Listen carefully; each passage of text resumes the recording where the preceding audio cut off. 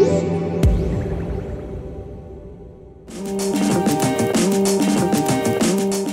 new Ryzen 5 2400G processor and its slimmed-down sibling, the Ryzen 3 2200G processor, both feature Vega graphics, onboard graphics chips which AMD claim are powerful enough to run esports games and other less graphically demanding games.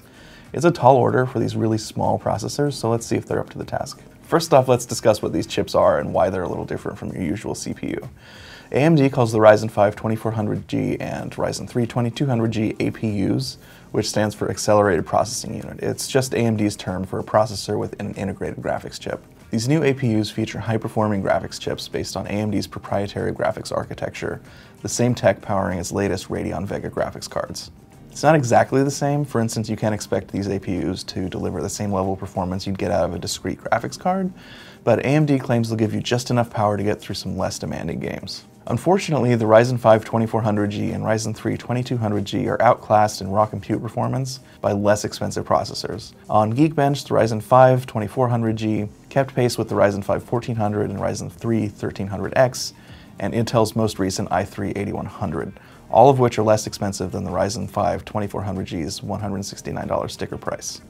We saw similar results in our 4K video encode test, with the Ryzen 5 2400G taking about 11 and a half minutes to finish an encode that the i3 8100 only took about 11 minutes to encode.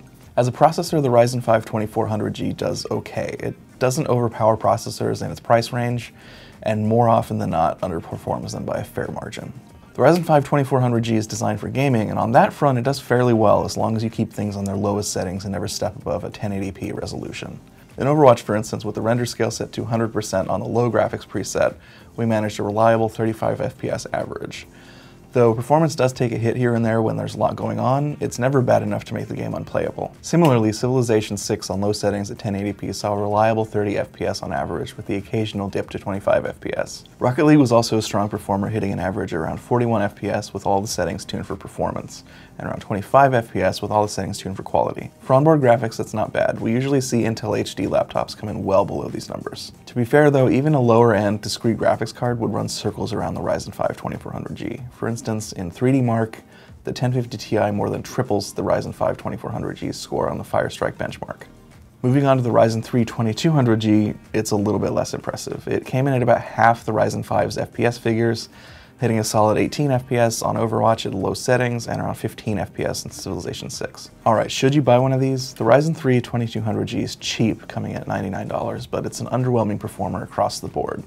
And spending an extra $20 gets you an 8th generation i3 processor, so it's not exactly a compelling buy. But if you want to build a gaming PC from scratch with current GPU prices the way they are, the Ryzen 5 2400G isn't a bad buy.